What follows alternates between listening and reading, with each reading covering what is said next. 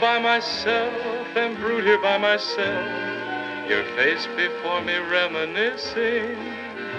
Just thinking what I do see and dreaming of what might be. We still could be so happy if you hadn't gone away. Since you bid me goodbye, my broken heart and I spend all our evenings reminiscing. Those magic nights of splendor thrilling kiss so tender, those moments of surrender are always on my mind. My dreams have turned to sleepless nightmares, but there is no one here, so who cares?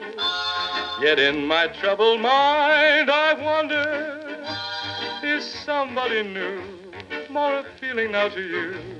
I say this to myself, and I believe myself that someday you'll return repenting.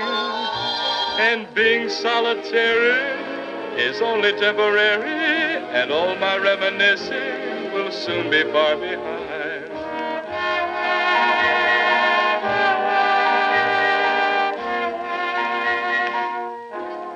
All my reminiscing